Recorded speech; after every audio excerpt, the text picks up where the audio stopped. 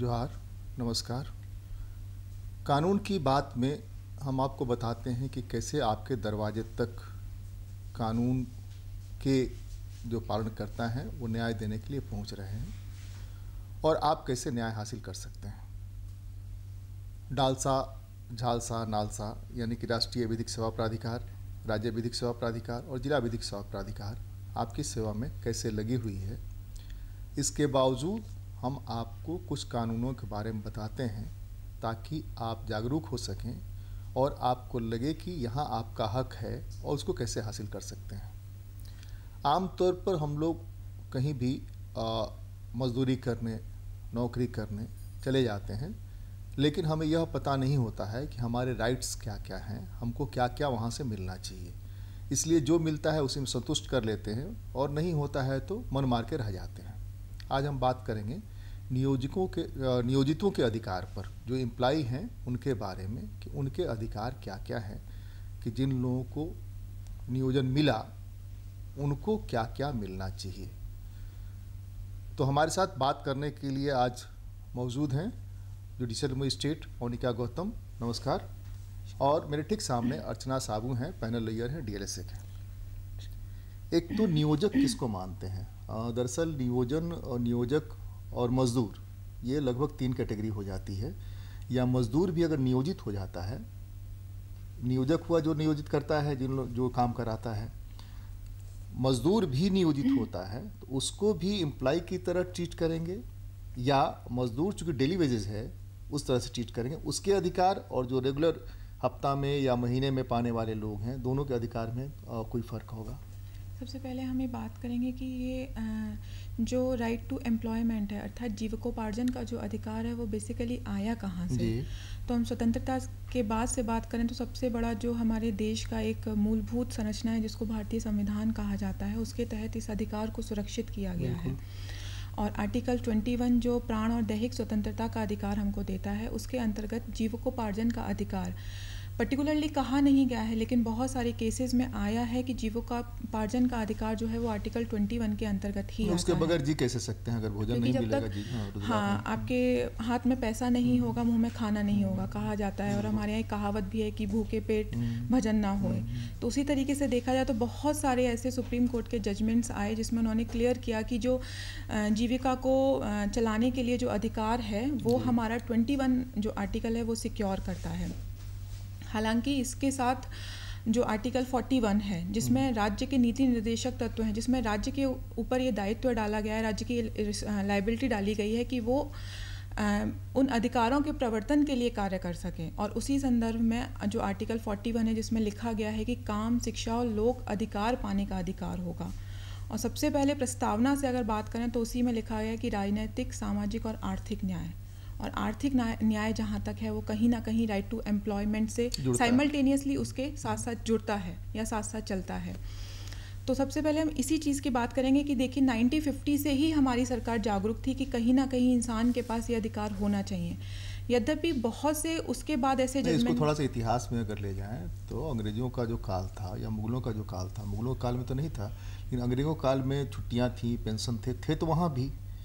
Labour act आया हाँ। हमारा मिनिमम वेजेस एक्ट आया वो सारा हमारे अंग्रेज़ों के काल में हाँ, आए। वो अडॉप्ट किया वो सारे अडॉप्ट किए गए हमारे। आज भी अगर देखें तो राज्य सरकार इस डायरेक्शन में बहुत सारे एक्ट्स लेके आ रही है। इसका रिसेंट एग्ज़ाम्पल है जो शायद इंडियन हिस्ट्री का सबसे बड़ा एक्ट कहीं ना कहीं जीवकोपार्जन के अधिकार से संबंधित है मनरेगा लाया गया जिसमें Mahatma Gandhi national Mahatma Gandhi rural employment guarantee मैंने जो सवाल किया उस सवाल में मनरेगा भी छुपा हुआ था। हम्म। हम बात करेंगे उस पर थोड़ा अर्चना जी से बात करते हैं।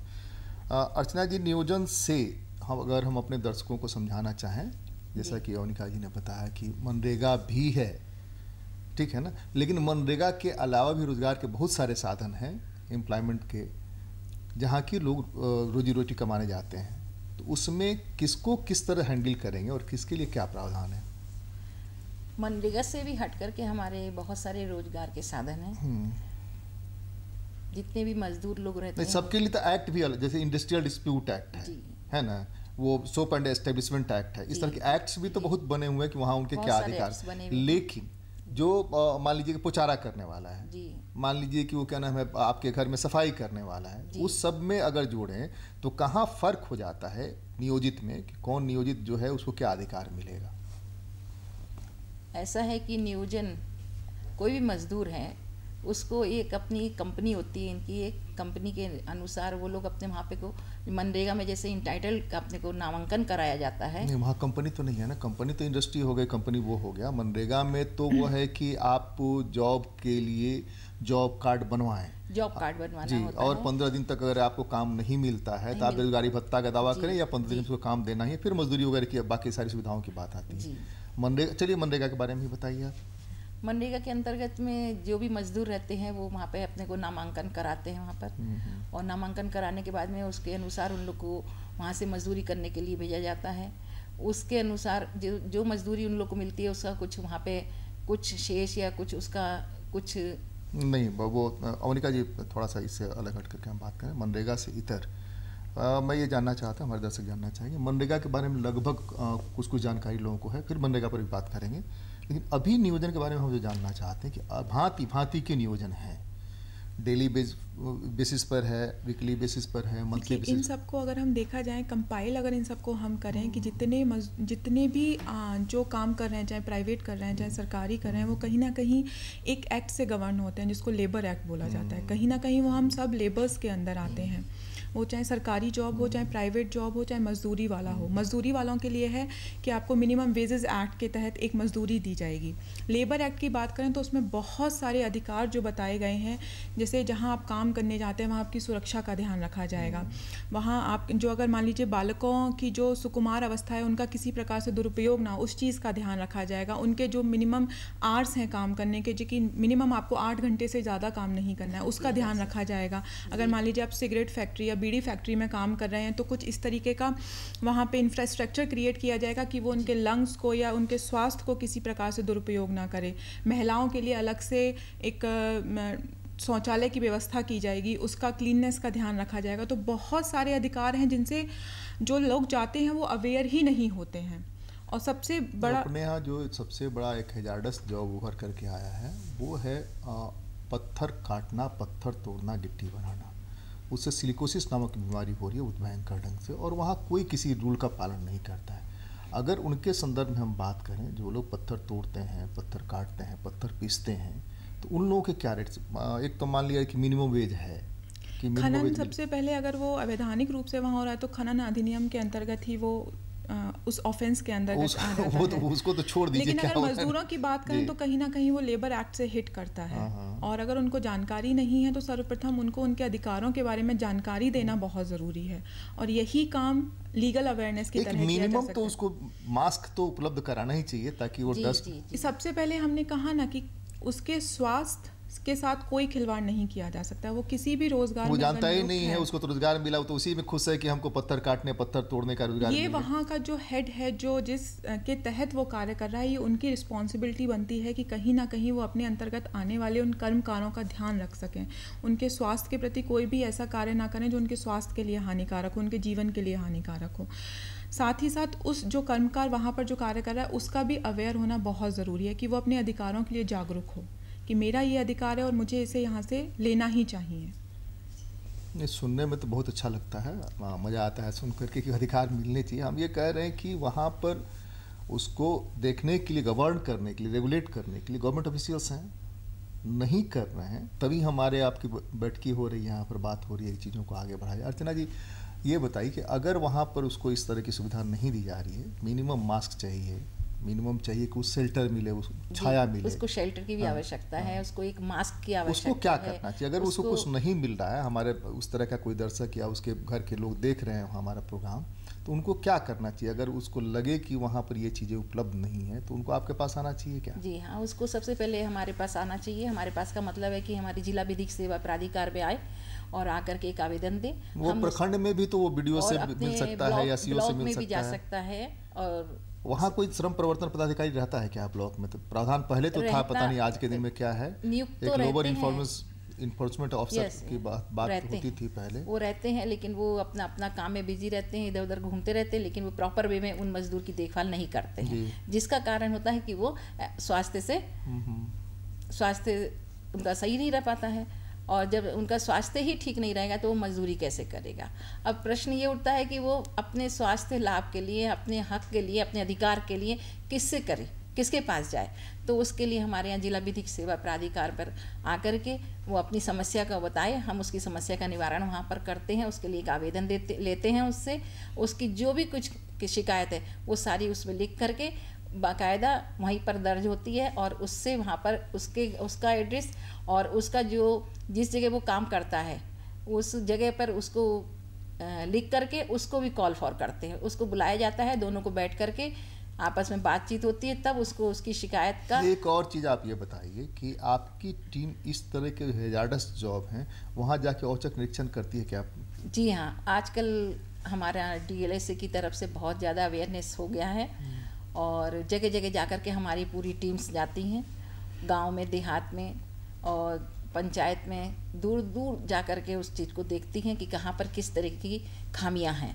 और अगर खामी, अगर पता चलती है तो हम लोग कोशिश करते हैं कि वीडियोज़ वगैरह को ग्राम पंचायत को मुखिया को इस चीज़ को आगाह कराएँ कि भाई इस तरीके की परेशानियाँ इन लोग को हो रही हैं। इसकी पूरी हर तरीके से इन लोग की सुविधाओं का ध्यान रखा जाए। एक तो अनिका जी थोड़ा सा ये चर्चा करें कि मिनिमम वेज जो है वो तो सबको बराबर मिलना चाहिए। इसलिए अ, कि आपका आर्टिकल 21 ही कहता है कि गरिमा के साथ जीने का अधिकार है विथ डिग्निटी।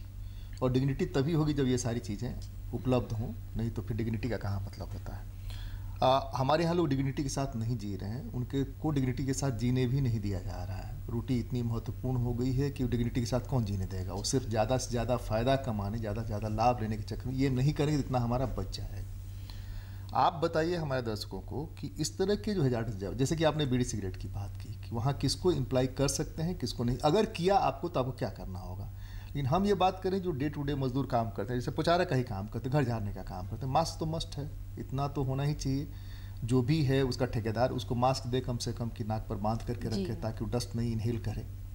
उसके स्वास्थ्य की प्रॉपर जाँच हो क्या व्यवस्था क्या है इस तरह से? देखिए, इसका ही आप आर्टिकल 21 की बात करते हैं, लेकिन साइमल्टेनियसली राज्य के ऊपर भी दायित्व दिया गया है राज्य के नीति निर्देशक तत्व में। आर्टिकल 39 डी में अगर हम बात करें तो साफ़ साफ़ लिखा गया है तो पुरुष और स्त्रियों के साथ किसी भी प्रकार का भेदभाव नहीं किया जाएगा। किसी भी प्रकार का कोई ऐसा अहित उनके साथ नहीं किया जाएगा जो उनके स्वास्थ्य के लिए या उनके जीवन के लिए हानिकारक हो। मैंने पहले ही बताया कि किशोरों की अवस्था के साथ नहीं किया जाएगा, उनके जीवन के साथ या उनके स्वास्थ्य के साथ किसी भी प्रकार का खिलवाड़ नहीं किया जाएगा। यहाँ पे दायित्व दोनों का ही बनता है। जो काम कर रहा है, उसको अपने लीगल राइट्स के लिए अवेयर होना पड़ेगा कि हाँ भाई, मेरा ये अधिकार है, अगर मैं ये काम कर रहा हूँ तो मुझे ये अपना सेफ्टी अपने आप से ही रखनी पड़ेगी। और अगर रिस्पॉन्सिबिलिटी की बात करें तो कहीं ना कहीं वो जिसके यहाँ कार्य कर रहा है, जो जिसने उसको नियोजित किया है, जो नियोजक है, उसकी भी कहीं ना कहीं दायित्व हो जाता है कि वो अपने यहाँ काम करने वाले मजदूर का या किसी भी व्यक्ति के स्वास्थ्य का और जीवन का ज़रूर ध्यान रखे। ये जो आपका डीएलएस है डीएलएस में लेबर से डिपार्टमेंट से जुड़े हुए कुछ लोग हैं क्या टीम में जो आपकी टीम बनी है या इस तरह के लोग जो एनजीओ चलाते हैं और इस तरह की चीज़ों को देखते हैं उस तरह के लोग जुड़े हुए हैं क्या? कोई टीम जी हाँ जी वक्त वक्त पर हमारे यहाँ जो प्रोग्राम्स होते हैं ट्रेनिंग्स होती हैं और अवेयरनेस के प्रोग्राम होते हैं उसमें इन सबको बुलाया जाता है बराबर। और इन लोगों की पूरी हर तरीके की बातचीत उस मुद्दे पर होती है। और क्या क्या उन लोगों ने अपनी तरफ़ से मजदूरों के लिए नियम बनाए हुए हैं। क्या क्या उन लोग की पुस्तिका बनी हुई है? किस पुस्तिका में क्या चीज़ दर्ज करना है? डेली आकर के उस पुस्तिका में कौन पहुँचा है? अगर किसी की तबीयत खराब है, किसी कोई अस्वस्थ है तो उसको किस तरीके से डॉक्टर को दिखाना है? ये सब चीज़ को उसमें वो लोग पूरा वर्णन उसमें बताया जाता है। यहाँ पे मैं डिस्क्राइब करना चाहूँगी कि नालसा ने अपनी दस स्कीम्स निकाली हैं जिसमें से एक स्कीम महत्वपूर्ण ये भी है कि असंगठित क्षेत्र में जो कार्य कर रहे हैं उनके अधिकारों को किस प्रकार और सुनिश्चित किया जा सके। उसके लिए लीगल अवेयरनेस कैंप हमारे यहाँ पिछले आज से डेढ़ महीने पहले उसको एक बस रवाना की गई है जो उन दस स्कीम के इम्प्लीमेंटेशन के लिए पूरे झारखंड में कार्य कर रही है।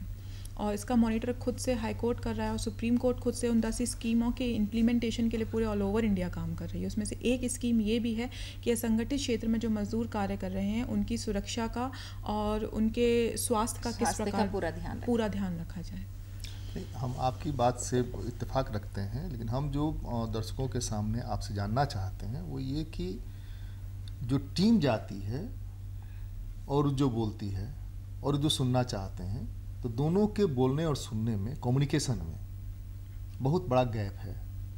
आप गई आपने कहा उसने सुना या नहीं सुना? सुना भी तो उसने गुना कि नहीं ऑब्ज़र्व किया कि नहीं? जी जी। तो ये जो है ये मॉनिटर अगर नहीं करेंगे सरकार तो विज्ञापन दे रही है सभी अखबारों में सभी दूरदर्शन में चैनल्स में विज्ञापन आते रहते हैं कि ऐसा होना चाहिए ऐसा होना चाहिए। उपभोक्ताओं के ये अधिकार हैं नियोजितों के ये कर्तव्य हैं नियोजितों के ये दायित्व हैं। तो ये सब होता रहता है। मतलब कि हमारी बात सुनी नहीं जा रही है तो हम अपनी बात कैसे सुनाएँ? हम आप बात कर रहे हैं तो बात कर रहे हैं। आप तीनों सुन रहे हैं हम लोग। हमारी बात दर्शक भी सुन रहे हैं। लेकिन दर्शक को हम किसी ऐसी भाषा में बात करें, इस अंदाज में बात करें कि वो समझ ही नहीं पाए तो हमारे बातचीत करने का कोई अर्थ नहीं है। इस पूरे प्रोग्राम का मतलब नहीं है। तो वैसे ही जो आपकी टीम जाती है, जो आपका कैंप जाता है, उसको मोनिटर किया जाता है कि नहीं? ये मेन चीज़ इसी हम का हम इसी का हम बता रहे हैं कि जो डेढ़ महीने पहले यहाँ से जो एक रथ रवाना किया गया हम्म, है हम्म। नालसा स्कीम के इम्प्लीमेंटेशन के लिए उसमें जैसे किसी कोई एक पर्टिकुलर एरिया वहाँ से कंप्लेन कितना आया? असंगठित मजदूर जी। पहले तो उनको अवेयर करना ही बहुत हाँ, ज़रूरी अवेयर किया आपने डेढ़ महीना पहले। कि मेरा मेरा अधिकार ये है मेरा अधिकार ये है। हाँ। वहाँ पे कुछ पैनल लॉयर्स छोड़े गए हैं कुछ पीएलवी छोड़े गए हैं जो उनसे डिस्कस करेंगे कि आपकी क्या प्रॉब्लम्स हैं और उन उन प्रॉब्लम्स को कलेक्ट करके हमारे डीएलएसए में लेके आएँगे वहाँ कंसर्न डिस्कस किया जाएगा कि उन प्रॉब्लम को हम रिजॉल्व कैसे कर सकते हैं और वापस वो टीम जाएगी और उनके बेहतर जीवन के लिए कार्य करेगी। हम ये डी जुड़ी हुई है इसलिए इनसे ज़्यादा बेहतर जवाब मिल पाए शायद। हम ये जानना चाहते हैं कि जैसे डायन के खिलाफ आप लोगों ने प्रचार किया। जी। जैसे मिनिमम वेज के लिए आपने प्रचार किया। तो वहाँ से रिस्पॉन्स यानी फीडबैक क्या है आपके पास? कि इस तरह कंप्लेन आ रहे हैं कि हमको पूरी मजदूरी नहीं मिल रही जो मजदूरी मिल रही है उसके साथ जो फैसिलिटीज़ मिल रही है जो शौचालय होना चाहिए था साफ़ सफ़ाई होनी चाहिए थी कैंटीन होना चाहिए था ये क्या नाम है मजदूरी का भुगतान नियमित होना चाहिए था। इस तरह कंप्लेंट्स आते हैं क्या जब उसी से फीडबैक पता चलता है। जब हमारी अवेयरनेस टीम वहाँ पर पहुँचती है तो नहीं मैडम अवेयरनेस टीम जाने के लौटने के बाद महीने दो महीने के बाद सर इसी के बीच में आता है ये भी आंसर जब अवेयरनेस टीम वहाँ पहुँचती है तो हम लोग बीच गाँव में जाकर के अवेयरनेस करते हैं और हमारे पी पहले से वहाँ पे जा जाए हुए रहते हैं। और पी जब वहाँ पहुँचते हैं तो उन लोगों का सब जितनी भी बातें होती जितना भी उनके साथ में समस्याएँ होती उनको कलेक्ट करते हैं। और जब हम लोग पहुँचते हैं वो लोग सब पहुँचते हैं वहाँ पर। तब उन लोग आपस में डिस्कशन करते हैं हम लोग डिस्कशन करते हैं और जो भी उसमें लाभार्थी अगर वो पहले से हमारे से लाभार्थी हो चुका है और जो लाभ लेना चाहता है वो हमसे उस समय डिस्कस करके दो चार और वो एक दो चार केस आप बताइए आप जिस टीम में गई हो वहाँ से जो फीडबैक मिला कंप्लेंट्स मिले या आपने वहाँ निष्पादित किया? दो चार केस बताइए इस तरह खास कर नियोजित अभी हाल में ही ब्रम्बे गई थी हमारी अवेयरनेस की टीम तो ब्रम्बे में एक महिला थी वो बहुत ज़्यादा परेशान हो रही थी। उन्होंने अपना जो परेशानी थी उनको, उनकी परेशानी ये थी कि उनके जो पति काम करने जाते थे, लेकिन काम करने के साथ में उनको पूरा भत्ता नहीं मिलता था। और जब भत्ता नहीं मिलता था तो वो किसी तरीके से कभी कुछ वो आजकल का आदिवासी समाज में तो ये किसका प्रचलन है कि वो हड़िया, दारू ये सब पी लेते हैं तो उसको होश नहीं रहता था। उससे जितने जितना पेमेंट दिया, उसको वो लेकर घर आ गया। लास्ट में उसकी पत्नी, जब पत्नी ने पूछा तो उसने हाँ इतना ही देवल हो तो का करी? इस भाषा में वो बात किया और जब इस बात को कई दिन हो गए काफ़ी समय हो गया तब वो उसने जा कर के इस चीज़ को हम लोग के सामने रखी। और जब हम लोग के सामने रखी तो हमने उसको बराबर बुलाया अपने पास बुला करके फिर उसको जहाँ पर मजदूरी करने जाता था वहाँ पर निरीक्षण किया तब पता चला तो इस चीज़ को हम लोगों ने मद्देनजर रख करके हमारे डी के द्वारा उसको आपने उसको मजदूरी दिलवाई जो पूरा मिलना चाहिए था पूरा पूरी पूरी मजदूरी जितनी मिलनी चाहिए थी वो दिलवाई। यही हम जानते ये फीडबैक हुआ ये। आ, दूसरे हम बात करें कि नियोजक अगर नहीं करते हैं इस तरह की व्यवस्था तो उनके खिलाफ क्या है पेनाल्टी क्या है? एक तो आपने कहा कि नियोजकों को भी बताना है सुविधाएँ तो देनी ही है बताना भी अवेयर भी करना है। अगर वो नहीं करते हैं जिसको लेकर के हम बात करें अगर होता तो हमारी ज़रूरत नहीं रहती तो अगर वो नहीं करते हैं राज्य के नीति निर्देशक तत्वों को भी छोड़ दें हम नहीं करते हैं तब क्या करेंगे करना चाहिए कहीं ना कहीं वो एक ऑफेंस कमिट कर रहे हैं सोसाइटी हाँ। के अगेंस्ट में और हर अगर आप बड़े लेवल पे बात करें तो कहीं ना कहीं ऐसी फैक्ट्रीज़ में या कंपनीज़ में एक यूनियन होता है हम्म, हम्म। और यूनियन रिप्रेजेंट करता है पूरे मज़दूरों को मज़दूर यूनियन जिसको बोला जाता है वो रिप्रेजेंट करता है तो कहीं ना कहीं वो जाके कोर्ट में केस कर सकते हैं कि इस तरीके से यहाँ पे लेबर एक्ट के हम लोगों के साथ साथ ये सब हो रहा है और हमारे जो नियोजक हैं, प्रॉपर भत्ता नहीं दे रहे हैं या हमारे स्वास्थ्य के साथ ये हो रहा है या जो फैसिलिटीज़ हमें प्रोवाइड की जानी चाहिए, पानी नहीं मिल रहा है हमें हमें आठ से ज़्यादा, आठ से दस घंटे से ज़्यादा काम करवाया जा रहा है। तो ये तो है ही। साथ साथ उसका कहीं ना कहीं एक जो सिविल राइट है, जो फंडामेंटल राइट, जो उसको मूलभूत रूप से संविधान प्रदान करता है, कहीं ना कहीं उसका वायलेशन भी हो रहा है। तो उसके एनफोर्समेंट के लिए वो सीधे कोर्ट में भी आ सकता है thirty two two twenty six writ में भी जा सकता है। और कहीं ना कहीं अगर वो ऐसा ऑफेंस करें तो लेबर एक्ट में कहीं ना कहीं उनके अगेंस्ट में चार्ज बनता है। हम लोग जो बात कर रहे हैं अर्चना जी, बात कर रहे हैं इसीलिए कि नियोजित जो लोग हैं, जो एम्प्लॉई हैं उनकी जो परेशानी है आप भी वाकिफ़ हैं। प्रैक्टिकल क्या है वो वाकिफ़ हैं। चाहे वो बाज़ार में काम करने वाले मज़दूर हों चाहे छोटी छोटी फैक्ट्री में काम करने वाले मज़दूर हों बड़ी फैक्ट्रियों में है कि करीब करीब थोड़ी बहुत सुविधाएँ हैं अवेयरनेस है लोग जानते हैं। यूनियंस की पिछले सत्ताईस सालों में क्या दशा हुई है उससे हम लोगों से बेहतर और कौन जानता है। अब यूनियंस कहाँ हैं कैसे हैं? उस स्थिति में और दूसरे खतरा ये है कि जैसे वो शिकायत लेकर के आता है, जैसे अनिका जी ने कहा कि वो कोर्ट में जाए, शिकायत लेकर के आए। लेकिन शिकायत लेकर के आता है, कितने साल सुनवाई चलेगी पता नहीं। फिर जाएगा मामला लेबर कोर्ट में। लेबर कोर्ट में वहाँ से इंस्ट्रक्शन जाएगा, वो नहीं फॉलो करेगा। क्यों नहीं फॉलो करेगा? इसलिए कि जब पेनल्टी होगी तो फिर पैरवी होगी और ये होगा, वो होगा। वैसे में आसानी से उसको अधिकार कैसे मिले? जैसे आपने एक बताया, बहुत अच्छा लगा हमको ये सुन करके कि नगरी में आपने ऐसे किया। वैसी स्थिति में जो लोग फंस जाते हैं, इसलिए खतरा ये है कि जो काम उसको मिला हुआ है, वो भी छूट जाएगा उसका। पहला काम यही होगा, वो निकाल देगा उसको। उसको भय बना रहता है कि अगर मैं केस करूँगा तो मेरा कहीं जो जितना भी कुछ भत्ता मिला, जो भी कुछ मुझे जीविकोपार्जन हो रहा है, कहीं मैं इससे हाथ ना धो बैठूँ। लेकिन उसको इस चीज़ के लिए कि खाली वही इससे झेल नहीं रहा आप कंपनसेशन दिलाएँगे क्या? टीएलएस से कंपनसेशन दिलाएगा क्या अगर जितना दिन वो काम नहीं करेगा निकाल अगर दिया उसको तो उसको कंपनसेशन या फिर आप भेज देंगे लेबर कोर्ट में कि लेबर कोर्ट में जाओ लेबर कोशिश करते हैं कि अपने यहाँ ही सीटिंग करते हैं हम्म। उसको दोनों पार्टी को बुलाते हैं और बैठ करके सीटिंग करते हैं। कोशिश करते हैं कि वो आपस में ऐसे ही समझौते के द्वारा ही उसको हम्म। जितना भी कंपनसेशन है उसको मिल जाना चाहिए। अधिकांशता हो ही जाता है।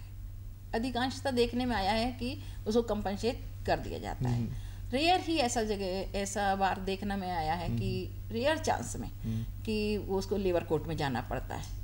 तो लेबर कोर्ट से ही टाइम तो लगना ही है। कोर्ट हम्म, का प्रोसेस से सब वाकिफ हैं। तो उस टाइम को देखते हुए आगे बढ़ा जाता है और निश्चित है कि उसको न्याय मिलेगा ही मिलेगा। उनका जी फिर वही न्याय न्याय पर आके मामला अटक जाता है। आ, आसानी से और जल्द न्याय मिल जाए उसको क्या रास्ता है इसका?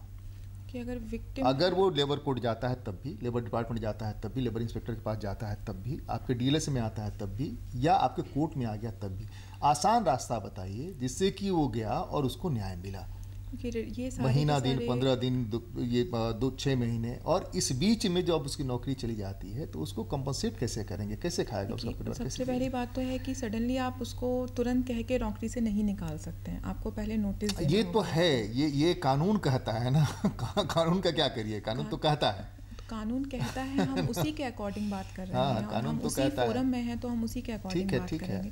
ये सारे जितने आपने बताया वो सारे रिड्रेसल फॉर्म है कि वो लेबर हाँ। कोर्ट जा सकता है वो लेबर हाँ। इंस्पेक्टर के पास जा सकता है तो इन्हीं सब में है कि आए वो अपना पहले अपने अधिकारों के लिए अवेयर हो उसके बाद आए और कहीं ना कहीं जितना जो कोर्ट का प्रोसीजर है वो हम फॉलो ज़रूर करेंगे। नहीं आप उनको उसको भरोसा कम से कम इतना दीजिए ना कि वो अगर आपके पास आ, आ रहा है तो वो निराश नहीं जाएगा। न्याय तो ज़रूर ही होगा उसके साथ। अगर वो विक्टिमाइज हुआ है। तो देर से ही सही लेकिन न्याय ज़रूर मिले। देर से में तो बहुत मुश्किल हो जाती है। न्याय न्याय देर से मिले तो फिर न्याय नहीं रह जाता जो है। कोर्ट का प्रोसेस है वो तो हम पूरा एग्जॉस्ट करेंगे ही ना। हाँ। उसमें ये होगा सर कि थोड़ा नज़दीक नज़दीक करके जो हमारा कार्य का जो गति होती है हाँ, हाँ। वो देखिए कोर्ट में बहुत सारे केसेस होते हैं।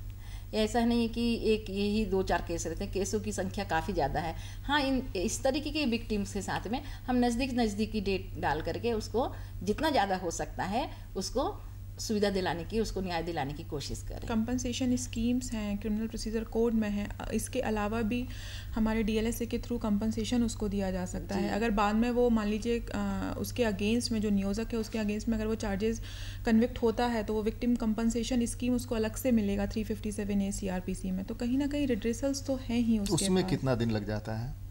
सर वही हमने कहा कि कोर्ट का प्रोसेस है वो पूरा प्रोसेस एग्जॉस्ट होने के ही बाद। जितना जल्दी कोर्ट अब इस चीज़ के लिए उम्मीद करनी चाहिए कि न्याय मिलेगा और नालसा झालसा डीएलएस से यह कोशिश उनकी जारी है कि आपको न्याय मिले जल्द न्याय मिले। आपको जो चीज़ें उपलब्ध होनी चाहिए उसके बारे में थोड़ा सा आपको भी आगे बढ़ना पड़ेगा कि कहीं अगर पत्थर तोड़ने वाले में काम कर रहे हैं कहीं इंडस्ट्री में काम कर रहे हैं कहीं बीड़ी बनाने वाले के यहाँ काम कर रहे हैं कहीं सिगरेट बनाने वाले के यहाँ काम कर रहे हैं या कहीं कपड़ा वाले के यहाँ काम करें तो आपको क्या सुविधा मिलनी चाहिए? आजकल तो सब कुछ नेट पर उपलब्ध है। या हो सकता है कि हम आपके साथ जो बात कर रहे हैं, उसमें बहुत सारे लोग नेट खोलना नहीं जानते हों तो आप पास के उस तरह के जानकार लोगों से बात कर सकते हैं। कुछ नहीं तो आपके हर ज़िले में डी तो है। वहाँ आकर के पूछ सकते हैं कि आप जहाँ काम कर रहे हैं, वहाँ पर आपको क्या सुविधाएँ मिलनी चाहिए? और वो सुविधाएँ अगर नहीं मिलनी चाहिए तो आप शिकायत दर्ज करा सकते हैं। जैसा दावा है अर्चना जी का ओनिका जी का, कि आपको न्याय मिलेगा। हम उम्मीद करें कि आपको न्याय मिलेगा। आज तो बस इतना ही। अगली बार आएँगे कानून के बाद में, किसी दूसरे मुद्दे पर चर्चा करेंगे। नमस्कार। नमस्कार।